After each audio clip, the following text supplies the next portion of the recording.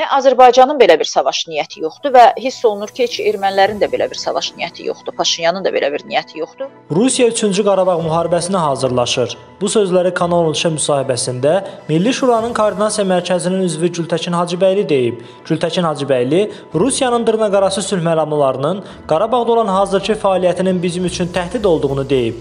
Təhdidlərdən biri də odur ki, Rusiyanın Qarabağdakı hərbi kontingenti Azərbaycan hərbiçilərinin qarşı tərəfə atəş açması ilə bağlı şər dolu bəyanatlar verirlər deyə Gültəkin Hacıbəyli əlavə edib. Amma yenə də əl çəkmir. Onu gücləndirmək üçün hər provokasiya edə bilər, hər cür oyunlar çıxara bilər, yenidən müharibəni alovlandıra bilər və əslində hər şeydən göründüyü kimi 3-cü Qarabağ savaşına Rusiya hazırlaşır. Yəni bu savaşa Rusiya hazırlaşır.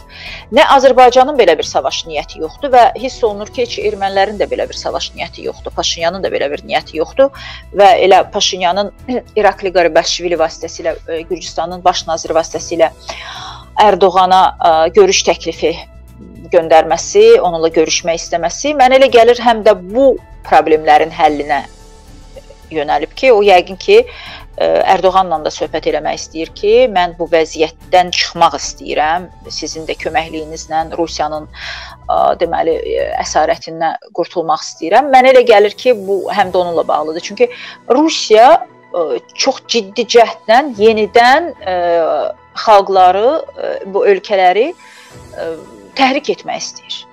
Rusiya sülh məramlılarının, onlara dırnaqarası sülh məramı, əslində pis məramlılarının deməli Qarabağdakı fəaliyyəti Azərbaycanın ərazi bütövlüyünə bir təhdiddir. Siz bilirsiniz, onlar ə, hətta nəzarətlərində olduğu ərazini də genişləndirirlər. Bu bir ə, sürünən anneksiyadır, bu bir ə, sürüşən anneksiyadır və yüksəklikləri ələ keçirirlər, ərazilərini genişləndirirlər.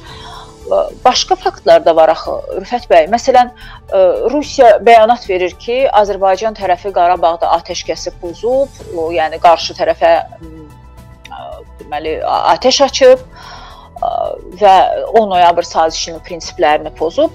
Azərbaycan tərəfi e, orada bilirsiniz, monitorinq mərkəzi var. Ruslar da o monitorinq mərkəzində bizim Türkiyəli soydaşlarımız qədər iştirak edirlər say baxımından.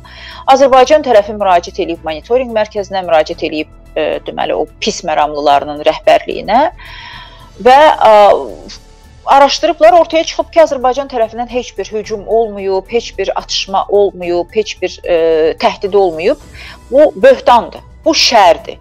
Yəni bu sübuta yetirilib. Faktlarla sübuta yetirilib. Həmin o monitorinq mərkəzi də bunu təsdiqləyib. Qarşı tərəf də Qarabağdakı sülh məramları da bunu qarşı qəbul edib. Bunun və bu vəziyyət ortada ola-ola, bu problem çözüldüyü bir halda bəlli olandan sonra ki, bu Azərbaycan atılan böhtandır Rusiya rəsmiləri artıq Moskvadan bəyanatla çıxış eləyirlər ki, Azərbaycan deməli eskalasiya ilə məşğuldur, bölgədə erməni tərəfinə deməli atəş açır, yəni 10 noyabr sazişinin normalar, prinsiplərini pozur, maddələrini pozur və s. Bu nə nədən xəbər verir? Bu pis niyyətin göstəricisi deyilsə nədir?